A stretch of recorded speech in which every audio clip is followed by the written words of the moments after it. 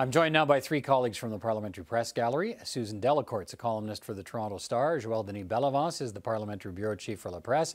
And John Ivison's a columnist for the National Post and Parliamentary Bureau Chief for Postmedia. Good to see you all again.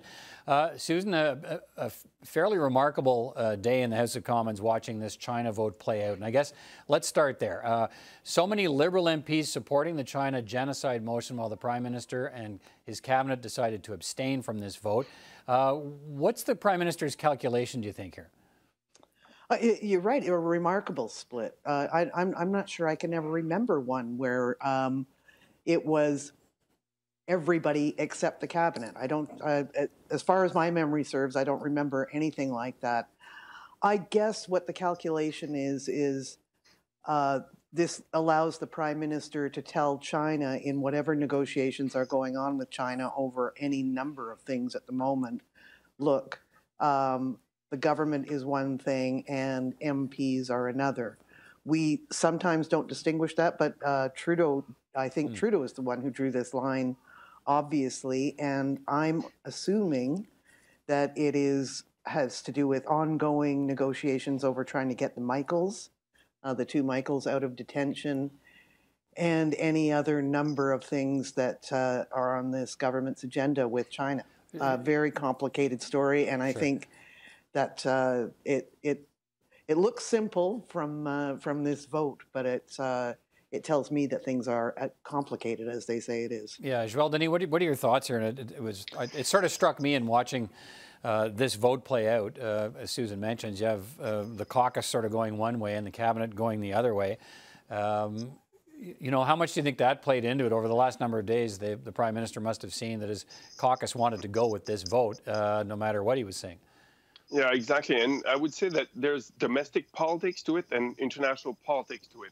Domestically, I think this going to hurt. This is going to hurt the prime minister and his cabinet because the opposition parties all line up, and the majority of the caucus of the Liberal Party said yes, had voted in favor of that motion. So the prime minister will be accused of not having enough courage to denounce this situation in China as a genocide. Now, internationally, the prime minister has met, I think I agree with uh, Susan, he's trying to give himself some uh, margin of maneuver because facing China has not been very easy for the prime minister over the last few years. And the diplomacy will, how will it work? Now, the interesting thing to watch now is the uh, reactions from China. Yeah, well, we know that the uh, Chinese ambassador uh, ahead of yeah, he was on our program warned. earlier, Joël Denis. He's not happy. Yeah. He's not happy, and he was warning parliamentarians not to go in that direction. So now, what will be the consequences? We'll find out in the next few days. Uh, John, what are your thoughts on how this all played out today?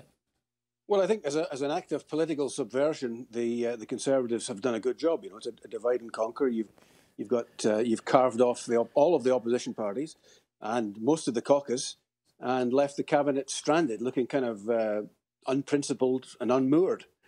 Um, you know, I think there are reasons. Obviously, that China's uh, behaviour here is abhorrent. I mean, there is clear evidence of sterilisation, which fits the bill as far as the UN definition is concerned. It means that you're trying to uh, stop births in in, uh, in a given ethnic group. But at the same time, from a diplomatic point of view, I can understand why Trudeau's done what he's done. I, I don't think, from the Michaels' point of view, that it would be productive. But I also think, you know, what next? You have you have leveled the charge, the ultimate charge. You've essentially right. gone nuclear in diplomatic terms by leveling the charge of of, uh, of genocide. Uh, most times, genocide is leveled against when there's clear evidence of mass murder in the cases of the Holocaust, Rwanda, Bosnia.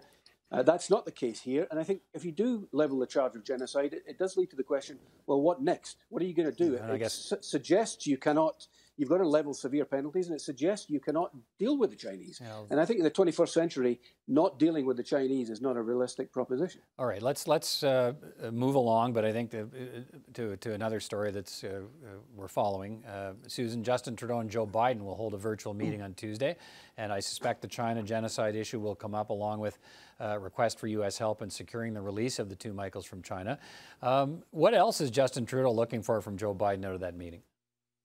Oh, I think there's a number of things that we've already seen that Joe Biden is supposed to be our friend, but he's got this buy American um, philosophy and approach that is not helpful to us. Uh, Keystone, that's a lost cause. I take it that uh, when I was talking to PMO officials over the weekend, they said energy will come up, but um, but I I don't think uh, Trudeau has already spoken twice to Joe Biden about Keystone. Biden's made his decision on that. That's gone. So, but I do expect climate to play a huge role in this. I think um, definitely the idea that um, Canada and the United States have got to work together on COVID and, and COVID prevention more than they have been.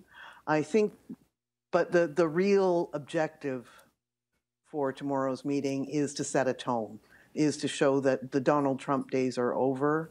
They, whether they do that really directly or or with sort of subtle nudges right. here and there, but I think it's to say this is a brand new era in Canada-U.S. relations. Uh, Joel do we need to hear more than that uh, uh, from this meeting? I mean, there's a lot at stake uh, for Canada, but I, I, guess I'm wondering whether we've seen any indication yet that Joe Biden is better for or will be better for Canada than Donald Trump was. Well, that's a good point. And last week, remember that Mr. Biden participated in a G7 meeting and also uh, a, multilateral meeting with European countries, and he said Washington is back. And one way to uh, uh, pursue that message is to work closely with Canada, which has been historically the, uh, the U.S. most closely ally. So that will signal that Washington is back working closely with uh, Canada. Out of that meeting, a few things that you should expect, Peter, is the following.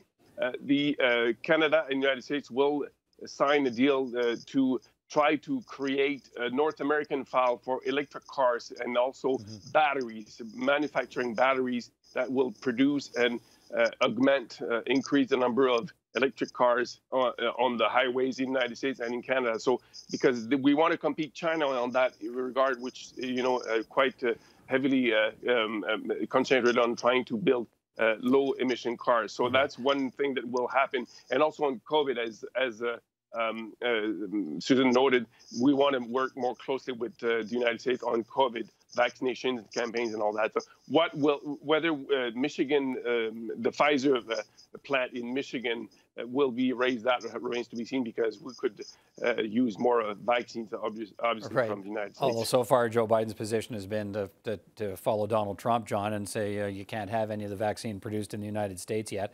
what are you watching for out of this meeting, John? Well, I think it will be a relatively comfortable meeting for, for Trudeau. I mean, it, it's, it's uh, I think, a good thing that it's the first one-on-one meeting. Um, you know, clearly Canada was the first phone call that he made. Now, now it's the first one-on-one meeting. I think there is a sense that we're back to a, an integrated North American economy, um, which I think we will see. You know, from a climate change point of view, this idea that you would have a, a, a periphery around North America of, of tariffs essentially, and if countries who don't have any kind of climate policies then they have to pay the tariff. Mm. I think uh, Buy American, we might see some sense that you know supply chains are so integrated that you can't just cut off at the border and say that uh, goods coming from Canada will be subject to uh, to some kind of tariff or, or favoritism towards American companies. I think the, the integ- integration is such that some kind of deal, so the same as uh, Harper and Obama struck, um, which essentially allowed the supply chains to continue regardless of Buy American. So I think it's I think that it's, it's all going to be positive. I don't see any areas of negativity unless there is a some kind of uh, vaccine diplomacy is played and, and America uh, starts to say that some of the suppliers who we've signed contracts with will not be sending uh, vaccine to Canada. Mm. That might be one imponderable. All right. Uh, look, lots to keep an eye on tomorrow. thanks for your time today, and we'll be in touch again. Take care, everybody. Thanks, Peter. Thanks, Peter.